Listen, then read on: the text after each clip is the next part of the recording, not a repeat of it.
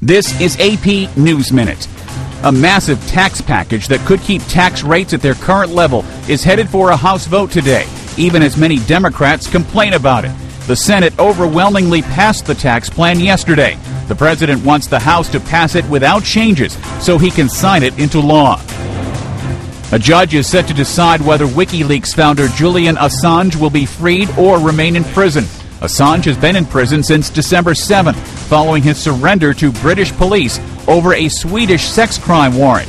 He denies any wrongdoing. New foreclosure figures show the number of U.S. homes repossessed by lenders in November fell to the lowest levels in a year and a half. It's the result of foreclosure freezes enacted by several banks following allegations that evictions were handled improperly. Even with the lower numbers, there still have been more than 980 foreclosures in the U.S. in 2010. If you plan on flying, get your airline ticket now. Several U.S. airlines have raised fares by up to $10 per round trip. The CEO for American Airlines says the increase is based on supply and demand and the recent increases in fuel costs. Ed Donahue, The Associated Press, with AP News Minute.